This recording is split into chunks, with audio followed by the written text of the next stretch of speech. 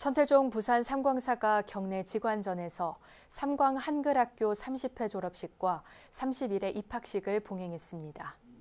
졸업식에는 3년간의 초등교육과정을 이수한 20명과 중등교육과정을 마친 22명이 졸업장을 받았습니다.